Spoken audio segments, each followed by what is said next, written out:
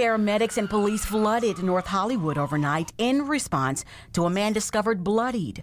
But what caused his injuries is part of the mystery that happened during the midnight hour Tuesday. There's still a lot of unknowns, but a woman working in this area telling us the victim did come to a nearby business for help. He was also seriously injured as he was taken to the hospital in critical condition.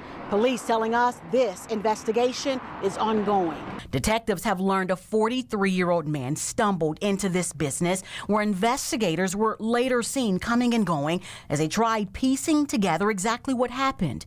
That woman went on to tell police the victim claimed he was shot before insisting he was shot at, but where is unknown.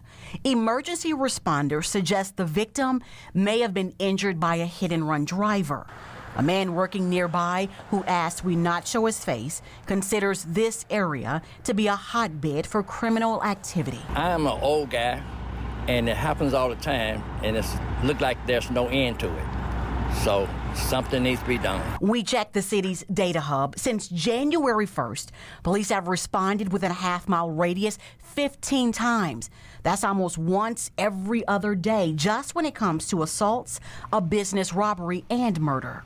Way too much. Which is why, before the sun even sets, this businessman says he is closing up shop. Well, we close up at 5, no later than 5, because we need to leave, leave this neighborhood. Adding violence of any kind is continuing to tear at the fabric of this community in North Memphis. I'm not sure exactly what we can be done. Jarita Patterson, WREG, News Channel 3.